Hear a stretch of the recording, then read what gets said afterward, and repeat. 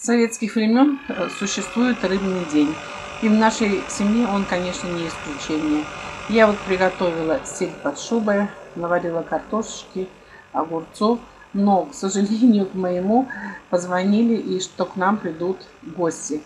Чем же мне их удивить и чем накормить в этот рыбный день? Давайте стараться.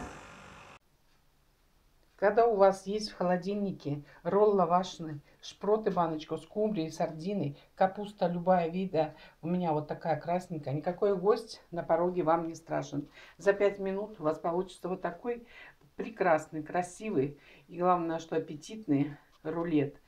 И нарезочка вот такая готова. Это уже стол накрыт, считается.